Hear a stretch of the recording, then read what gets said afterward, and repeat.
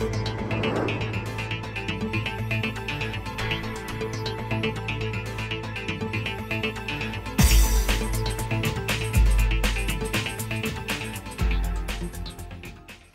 see that? No. Trick number five is blind hook, Okay. where you have to not look and get the cup, the ball in the cup. Nope.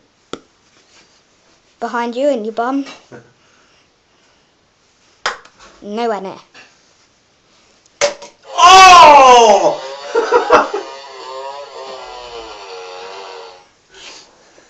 PJ's just looking at you like, what the hell are you doing? Huh? There's just random stuff flying around. No, no, it's picking up dust particles because that light is so bright. Go on have a look at that. Let's replay that.